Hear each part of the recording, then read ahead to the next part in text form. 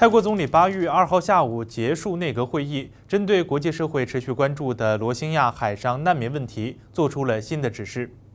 现在我们所在的位置是泰国总理府。泰国总理巴育在今天的那个会议上表示，泰国副总理兼国防部长巴益在新加坡香格里拉会议上就罗兴亚人问题指出，受季风影响，泰国方面将在近期开始减少海面的船只及飞机救援行动，预计两周以后将停止救援工作。国际社会方面对泰国长期以来的救援行动表示高度赞扬。来看现场报道。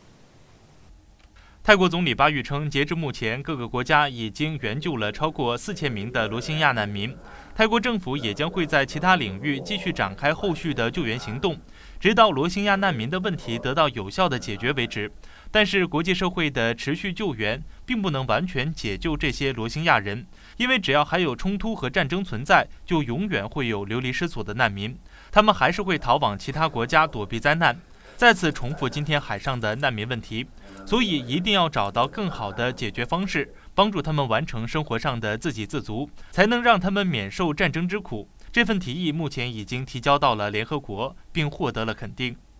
东盟卫视 MGTV 记者雷声鹏、龚晓泰国曼谷报道。